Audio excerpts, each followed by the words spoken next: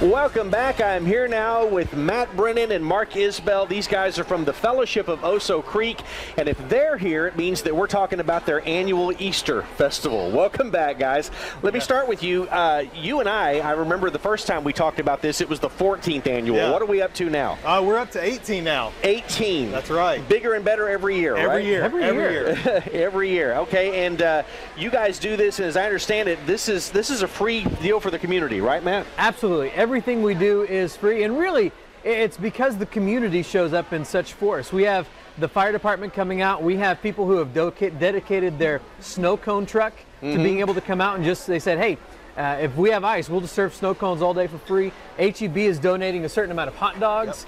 Um, we have Life Martial Arts that has donated the eggs for the event. It really is a fantastic showing of the entire community coming out just to celebrate Easter together. Yeah, it's a lot of fun. In fact, we've got some video from from years past, and uh, uh, a lot of folks really show up to this thing. I mean, they don't disappoint you, do they? No, it's it's you know every year it's a challenge to see how many cars we can get in. You know, we we have between 2,500, 3,000 people show up every year, and Wow. man, we are excited to see every single one of them. Now, I would suspect that you're also uh, encouraging folks to come back on Easter Sunday, with that, or any Sunday. We but are any Easter's given a big, Sunday. Big Sunday, Absolutely. right? Well, that's the beautiful thing is Uh, on February 24th for the Easter Festival, it's when we're inviting the community to come out and celebrate Easter together. And a lot of times we celebrate with snow cones and hot dogs and inflatables and bouncy houses.